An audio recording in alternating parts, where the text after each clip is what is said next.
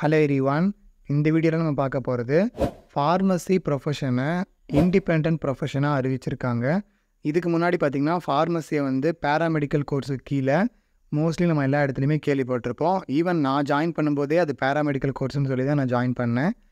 But இப்போ வந்து பார்த்திங்கன்னா ஃபார்மசி கோர்ஸை கம்ப்ளீட்டாக இண்டிபெண்ட் ப்ரொஃபஷன் இது வந்து எந்த ஒரு டிவிஷனுக்கும் கீழே வந்து நம்ம இன்க்ளூட் பண்ணக்கூடாது. அப்படின்னு சொல்லி முழுமையாக சொல்லியிருக்காங்க. அதாவது இப்போ மெடிக்கல் கோர்சஸ் அப்படின்னா லைக் டாக்டர்ஸ் கோர்சஸ்ன்னு சிம்பிளாக சொல்லிவிடுவோம் பேராமெடிக்கல் அப்படின்னா இந்த நர்சஸ் அப்புறம் இந்த ஒரு சில அதர் கோர்சஸ்லாம் இருக்குது இதெல்லாம் வந்து பேராமெடிக்கலுக்கு கீழே வரும். இதில் தான் ஃபார்மசியும் வந்து கூட கிளப் பண்ணி வச்சுருந்தாங்க. பட் இப்போ வந்து பிசிஏலேருந்து ஒரு நோட்டிஃபிகேஷன் வந்திருக்கு. இதில் கிளியராக சொல்லிட்டாங்க. ஃபார்மசி ப்ரொஃபஷன் வந்து இண்டிபெண்ட்டாக வந்து செயல்படுது. இது வந்து பேராமெடிக்கல்னு சொல்லி எதோடையும் கிளப் பண்ணக்கூடாது. இல்லை கூட்டு சேர்க்கக்கூடாது. இது பேராமெடிக்கல் குரூப்புக்கு கீழே வராது அப்படின்னு சொல்லி ஒரு நோட்டிஃபிகேஷன் விட்டுருக்காங்க. அதுதான் இது. இதில் என்ன சொல்லியிருக்காங்க அப்படின்னு பார்க்கலாம். Pharmacy profession in the country is regulated by pharmacy council of India so pharmacy ப்ரொஃபஷனை PCI தான் வந்து ரெகுலேட் பண்ணுது.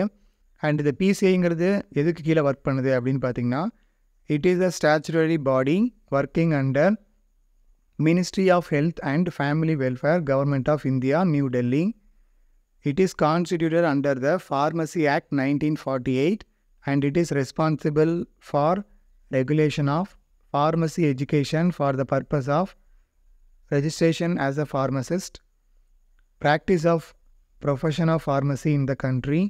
So pharmacy act கீழே இந்த கோர்ஸ் வந்து ரெஜிஸ்டர் ஆகிருக்கு ஃபார் டூ பர்பஸஸ் ஒன்று ரெஜிஸ்டர்டு ஃபார்மசிஸ்ட்டை வந்து உருவாக்குறதுக்காக இன்னொன்று ஃபார்மசி ப்ரொஃபஷனை வந்து ப்ராக்டிஸ் பண்ணுறதுக்காக எப்படி டாக்டர்ஸ் வந்து ஹாஸ்பிட்டலில் ப்ராக்டிஸ் பண்ணுறாங்களோ அந்த மாதிரி நம்ம கண்ட்ரியில் ஃபார்மசி படித்தவங்க அவங்க ப்ரொஃபஷனை ப்ராக்டிஸ் பண்ணுறதுக்கும் இந்த ஃபார்மசி ஆக்டில் ரெஜிஸ்டர் இருக்கக்கூடிய இந்த கோர்ஸ் வந்து ஹெல்ப் பண்ணுது.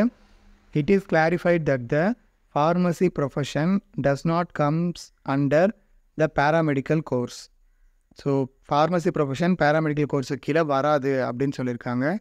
Further pharmacy education should not be linked with paramedical education and neither be clubbed with paramedical as pharmacy profession itself is an independent profession. அதாவது பேராமெடிக்கல் கோர்ஸோட ஃபார்மசி எஜுகேஷனை வந்து ஆட் பண்ணக்கூடாது.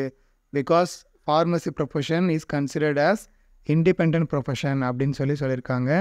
Finally the pharmacy profession as such does not belong to a paramedical group paramedical குரூப்பில் pharmacy profession வந்து belong ஆகலை அப்படின்னு சொல்லி ஃபைனலாக சொல்லியிருக்காங்க so this is the recent notification இது ரிலீஸ் ஆகி கிட்டத்தட்ட ஒன் மந்த் ஆகிடுச்சு ஜூன் நைன்டீன் இந்த நோட்டிஃபிகேஷன் ரிலீஸ் ஆகிடுச்சு பட் இதை நான் வந்து வீடியோ எடுக்கணும்னு ரொம்ப நாள் முன்னாடி நினச்சேன். பட் uh, எடுக்கிறது கொஞ்சம் லேட் ஆகிடுச்சு இந்த நியூஸ் தெரியாதவங்க தெரிஞ்சுக்கோங்க. ஃபார்மசி ப்ரொஃபஷன் வந்து இனிமேல் ஒரு இண்டிபெண்ட் ப்ரொஃபஷன் தான். இது வந்து எந்த ஒரு இடத்துலையும் பேராமெடிக்கல் குரூப் அப்படின்னு சொல்லி நம்ம எங்கேயுமே வந்து பார்க்கவும் முடியாது. அதை வந்து சொல்லவும் கூடாது. இதே மாதிரி யூஸ்ஃபுல்லான இன்ஃபர்மேஷன் பார்க்குறதுக்கு நம்ம சேனலை சப்ஸ்கிரைப் பண்ணி வச்சுக்கோங்க. அண்ட் வீடியோ பிடிச்சிருந்தா லைக் பண்ணுங்கள் மறக்காமல் உங்கள் ஃப்ரெண்ட்ஸோட ஷேர் பண்ணுங்கள் இதே மாதிரி நெக்ஸ்ட் வீடியோட மீட் பண்ணுறேன் அண்டிதன்ஸ் பாய் ஃப்ரம் வசந்த்